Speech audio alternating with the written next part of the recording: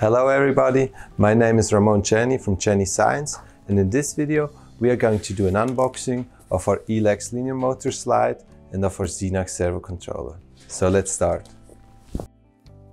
So here we got the package where everything fits perfectly.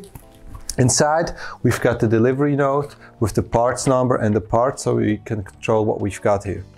We've got the ELAX linear motor slide with the cables. We've got the Xenax servo controller to control everything and we got some additional parts.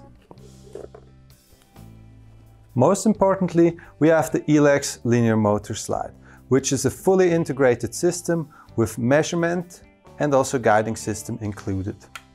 Here on the left side, we see the weight compensation, which is important if you are using the axis vertically.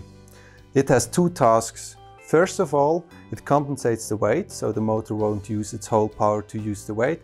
And also, if the power supply shuts off, the motor won't fall down, it will go back up. Also here, we've got our unique one cable solution. With the one cable solution, you have less cables in your machine and the machine will be easier to build.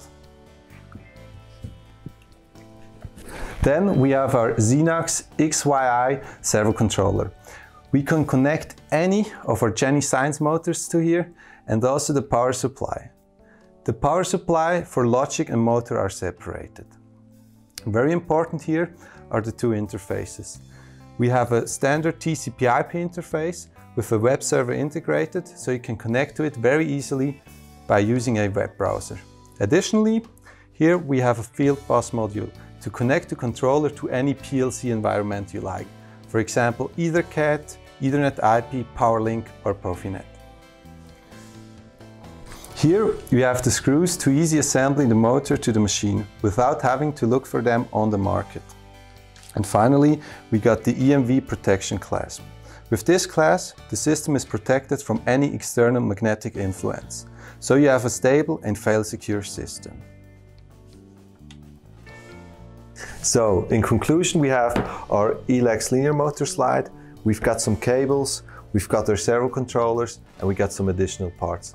How we're gonna put this all together and how we're gonna easily start it up over a web browser, we're gonna see in the next video. Thank you very much and see you next time.